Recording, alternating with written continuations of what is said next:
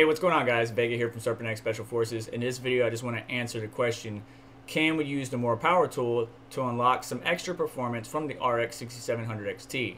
Now, unfortunately, this time AMD has really locked down the GPU from an architectural level, whereas NVIDIA is locking down or trying to lock down stuff from a driver level. Uh, with the more power tool, we were able to extend the limitations for the 5700 series, whether it was the XT or non-XT, and get some extra gaming performance or mining performance, whichever it may be. This time, though, uh, I, it, it's not working at all. I tried it on the 6800 series, and even in my past videos uh, talking about the 6700 XT live or otherwise, I mentioned that the more power tool does not work, and that's honestly without me even testing it. Here's the reason why. So first off, I want to show you something if you get the latest version of AMD VB Flash, which is a, uh, a tool that we would use to flash the, the BIOS or GPU, when I try to run it, it doesn't even load. This is what it says, cannot load driver. So we need the latest version of AMD VB Flash just to even save the BIOS. To counter this, if you want to save the BIOS, you could use TechPowerUp or go to techpowerup.com to download it. Also, what you can do is you can use GPU-Z. There is the latest version of GPU-Z.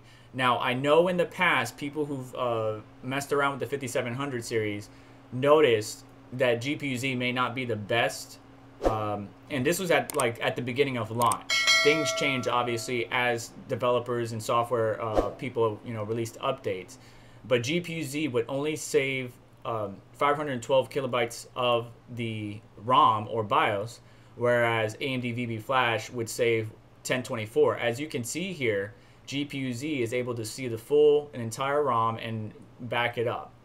And you can use GPU-Z to do this. If you get the latest version, you just click this little arrow right here that says Save BIOS, and you can save the file or submit to an online database. They already have mine, so I would just click Save to File.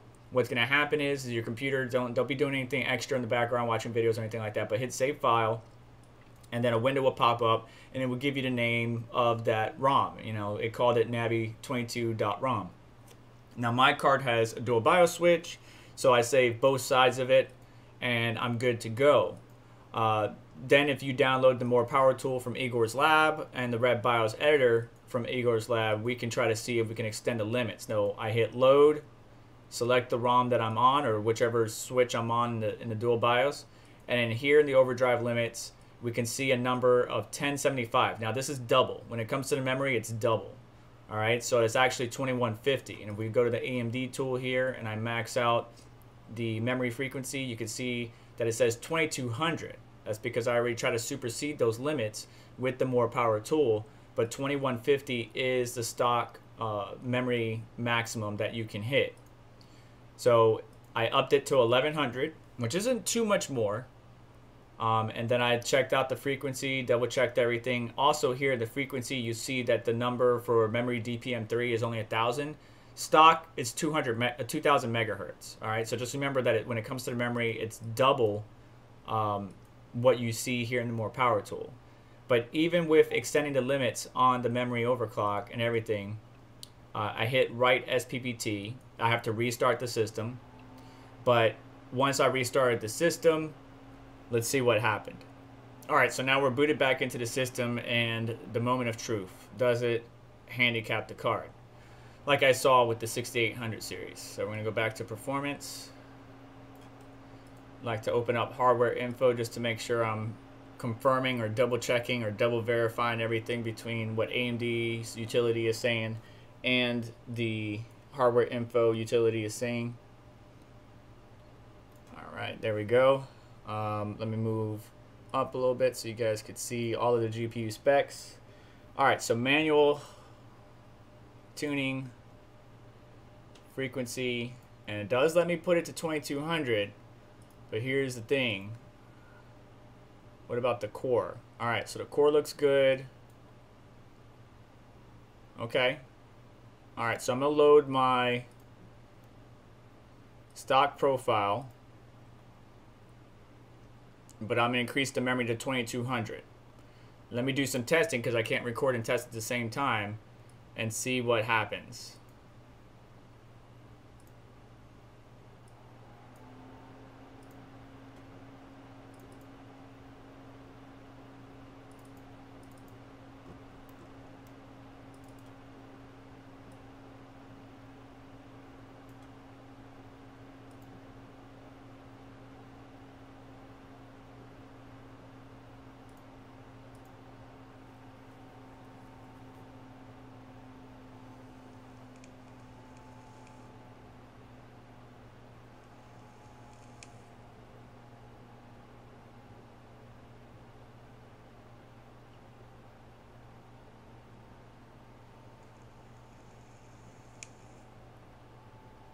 So as you just saw there, uh, yeah, we can surpass the memory limits. The problem is, is that the core clock is going to lock itself down to 500 megahertz or lower. Even though it says, you know, like if I leave it stock right now and start it again, it's going to drop right down to 500 megahertz. It's not going to go beyond that as far as the core clock, and then the memory is able to hit, you know, 2200 or close to 2200 uh, megahertz, but the core is locked down. It's almost as if something internally is sensing, okay, they're modifying the SPPT or soft power play tables, you know, lock down the core or whatever it is. So until Igor's lab or somebody from out there modifies or comes up with a uh, revision of the power play tables, stuff like that, there's not much that uh, we can do. So the more power tool obviously does not work. What about the Red BIOS editor? Um, let's find out. First off, if you ever want to go back to stock, you just select your GPU, load the BIOS that you should have saved, and then you will be good to go. It will load the default values for everything, and you can write and restart. Um, let's check out the Red BIOS editor, see if it can pick up on anything. So I'm going to load, again, that BIOS that we saved. Not supported. So the Red BIOS editor would not allow us to modify memory timings in any form or fashion unless the Rebellion team comes out with a new revision. So that's the unfortunate news in today's video, but I just wanted to show you guys that just to go ahead and, and finalize. I, I mentioned in the live stream when I was doing my testing and even in my previous video that it's not supported because I already knew that because the 6800 series showed me the locking mechanism or the fact that it is locked uh, once we try to supersede the, the limitations that AMD has placed. So unfortunately, you're not going to be, be able to eke out any more, at least of right now, unless somebody comes out. Now, I don't know if the people at Igor's lab or the uh, Rebellion team will come out with a new revision uh, that will allow us to fully unlock the 6000 series. Maybe AMD's locked it down so good that they can't.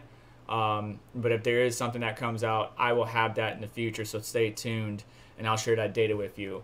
But that's pretty much it. Just wanted to answer that question. Does the more power tool uh, work on the RX 6700 XT? Uh, it, honestly, it doesn't work for any of the 6000 series GPUs at the time. And unfortunately, you're not going to be able to get much more performance out of it because once you unlock it or try to supersede the limits, it's going to lock down that GPU.